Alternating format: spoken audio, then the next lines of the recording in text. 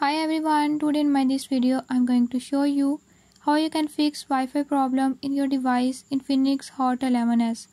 In this device Infinix Hot 11s, if your Wi-Fi is not working or is not connecting, I'll tell you how you can fix it.